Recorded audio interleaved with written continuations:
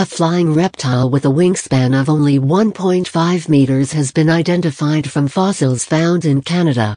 The new pterosaur, which lived during the late Cretaceous era around 77 million years ago, is a big deal to scientists as it offers evidence to suggest that smaller flying reptiles were still able to compete with birds all the way up until the end of the age of the dinosaurs.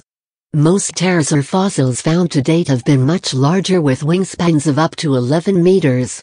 This new pterosaur is exciting because it suggests that small pterosaurs were present all the way until the end of the Cretaceous, and weren't outcompeted by birds, said lead scientist Elizabeth Martin Silverstone from the University of Southampton. The hollow bones of pterosaurs are notoriously poorly preserved, and larger animals seem to be preferentially preserved in similarly aged late Cretaceous ecosystems of North America.